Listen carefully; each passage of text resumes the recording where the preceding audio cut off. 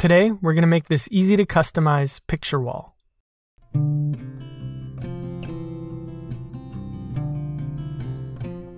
A couple months ago, I built this customizable living Instagram wall thing on my personal channel, Foureyes Furniture. It was nice and we liked it, but I immediately thought of a couple things I could have done to improve the design and to make it a little bit more upscale.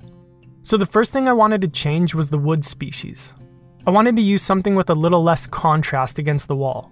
Now, if you want to build this, and assuming you don't have a planer and a jointer, you're going to want to look for S3S or S4S lumber.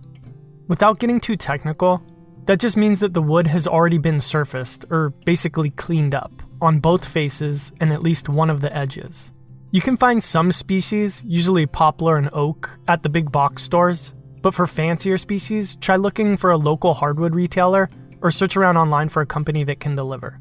The wood isn't cheap, but you don't need much for this project. I started off by cross cutting my piece to length. I'm going to use 64 inches, but you could use whatever makes sense for your wall. If you don't have a table saw with this much capacity, you could use a miter saw or a handheld circular saw.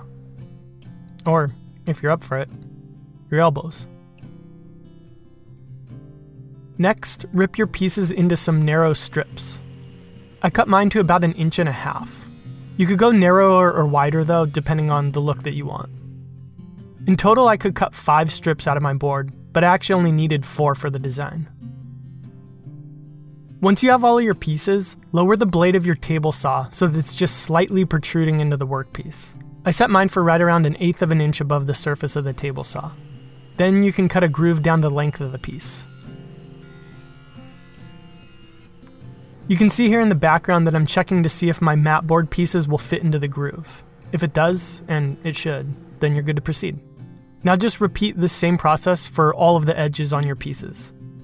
Technically, you don't need a groove on the bottom of the bottom piece or the top of the top piece, but I wanted options when I was going to install this on the wall, so I just did both sides of every piece.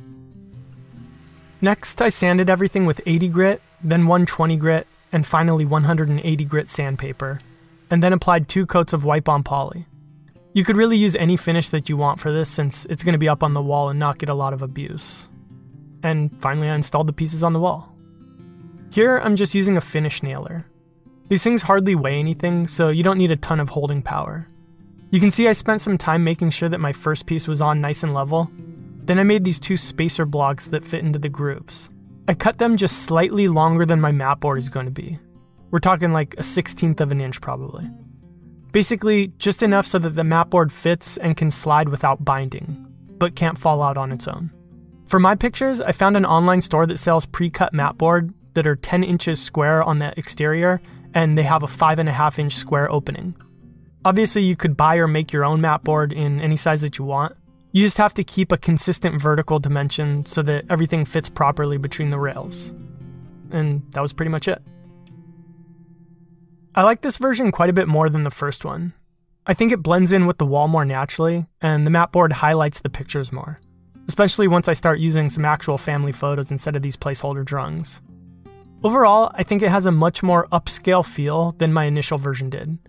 And putting the groove in the center of the wood rather than in the back means that no matter how uneven or textured your walls are, there's no fear of the pictures falling out. For more information, click the links in the description box below. Be sure to check out our Instagram to see what we're working on next, and make sure you've subscribed to this channel if you haven't already. This has been Chris from Foureyes Furniture for Dwell Made. Thanks for watching, and I'll see you next time.